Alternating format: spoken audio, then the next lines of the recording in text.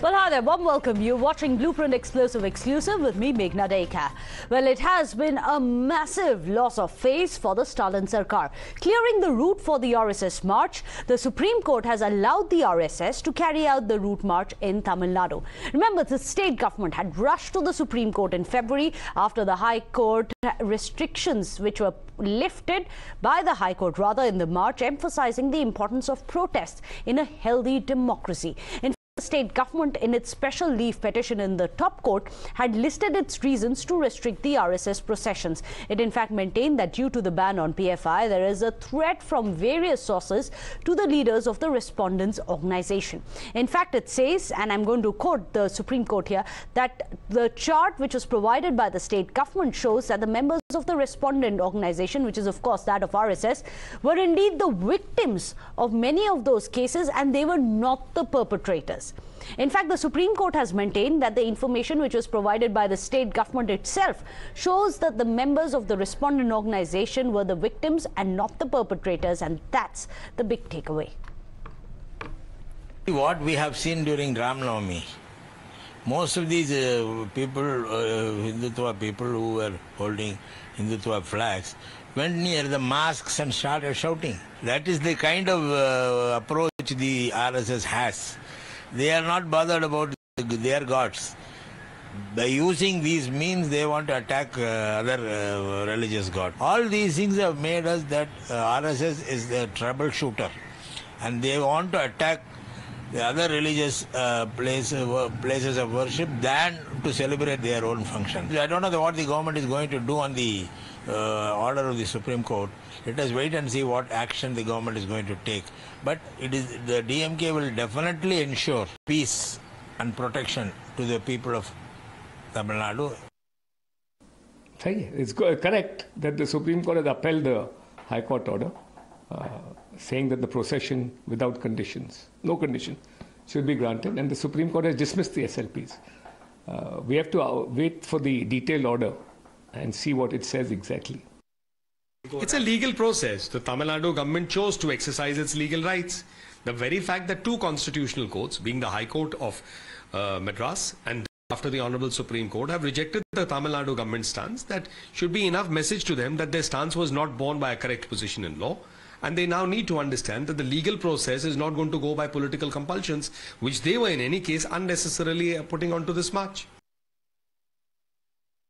If there is a law and order situation for one group, the same applies to the other groups also. Isn't it? How can it be a law and order situation only for RSS March? and impose all this. So definitely, and uh, it just goes to prove that if we want to fight for what is right, we are prepared to go all the way. It is time for the Tamil Nadu government to introspect within themselves and take the right decision at the right time. It is, I think I would take it as a sort of, you know, a reprimand for the Tamil Nadu government because it is totally one-sided on, on, every issue. They are totally partial, one-sided, and I think this particular judgment goes to prove. And definitely, we cannot take things lying down anymore. Well, let's go across to our panelists. Joining us today on the show, Desh Ratan Nigam. He's a lawyer joining us here on the show. Dr.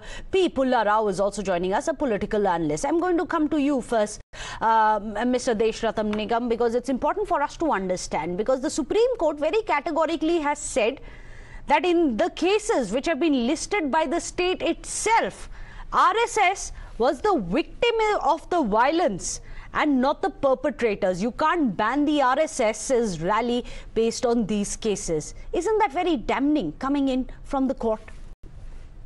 Certainly, Meghna. In fact, RSS, which is always in the forefront of national causes and also is in the forefront of making India a Vishwaguru, has always been there in the forefront when, whether there are natural calamities or otherwise. And therefore, uh, in order to ban the uh, you know, march of the RSS, which is not a protest. It's a, it was a celebration of Azadi Ka Amrit Mahotsav and also Gandhi Jayanti at that point of time. To ban such kind of, uh, you know, marches and protests, which are actually a celebration for India, and at the same time saying that PFI may create uh, a law and order issue, which is a banned organization, and, organ- and, and therefore you should not go into sensitive areas. In fact, more so that in sensitive areas, the authority of the state has to be established absolute authority of the state has to be established, and these marches must go through so that the PFI and the similar organizations and similar people and politicians understand that the state is supreme and, and, and a particular organization which is known for a nationalist cause cannot be prevented from, you know, uh, going into areas. Yes, our Swayamsevaks have been killed, whether it is Kerala, Northeast, Assam, Tamil Nadu, Karnataka, brutally because they were upholding the national cause by SDPI and PFI goons and terrorists. So, yes, uh, the observation by the Supreme Court is quite damaging and damning so the state government is concerned, whereas the earlier marches have taken place, whether it was Dalit Panthers or the ruling DMK party's marches, they all had gone through the same areas, but a nationalist organization cannot. So that's that's the dual Right. face of the DMK.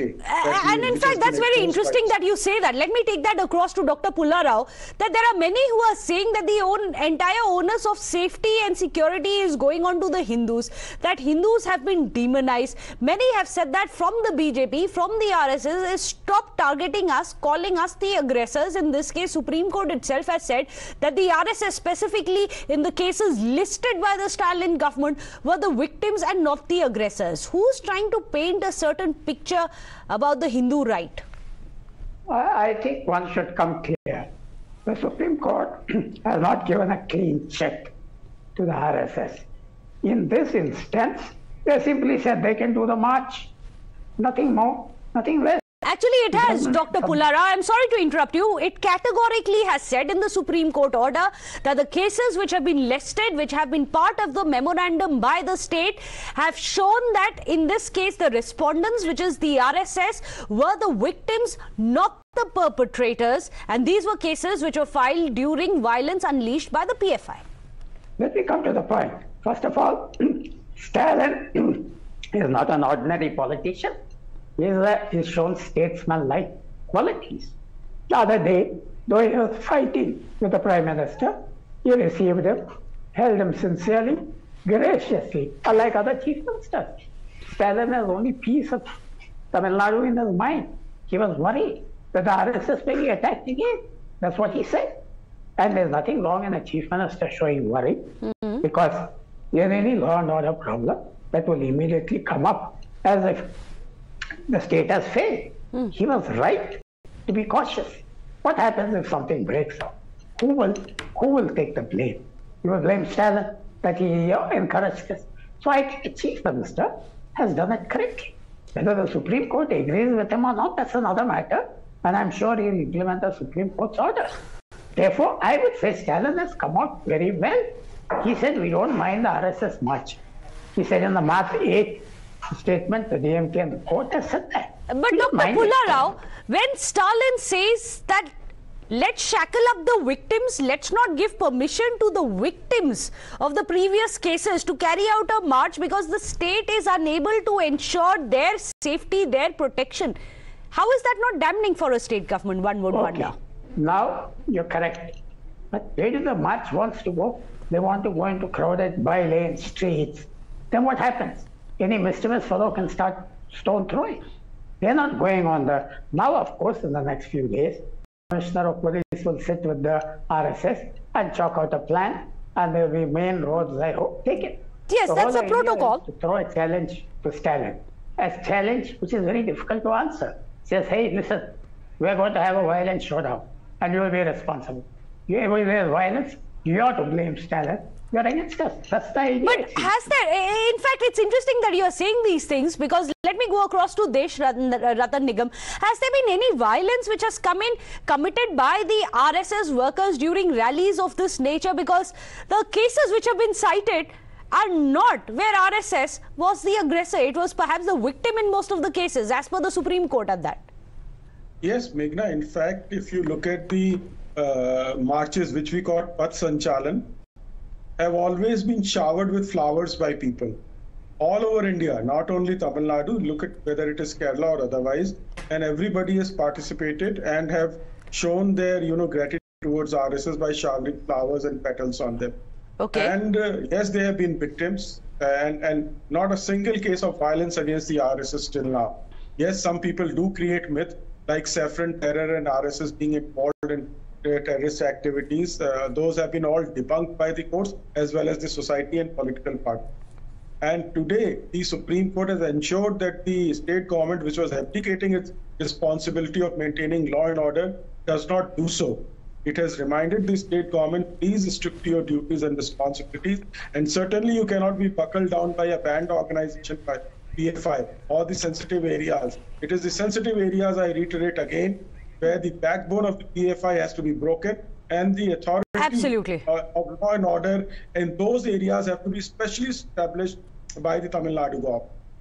Well, you've made very valid points. Thank you so much, uh, Desh Ratan Nigam, as well as Dr. Pulla Rao for joining us. On one hand, you have the state government, which has said that let's shackle, it's perhaps easier to shackle the victims in this case, as the Supreme Court has called them. But now the Supreme Court stepped in and has given an unfettered uh, route for the RSS to march upon. Well, uh, this is going to be one of the big stories that we are tracking for you here on Blueprint. But for the timing, a short break. Don't go anywhere. We return in two minutes.